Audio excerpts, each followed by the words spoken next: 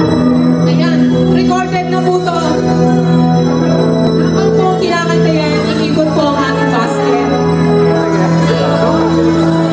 Mas maganda pa ngayon.